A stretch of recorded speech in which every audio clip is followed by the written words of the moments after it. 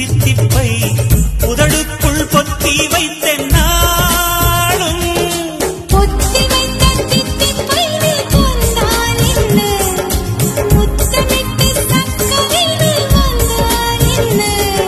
தினமும் தினமும் வரலாமா?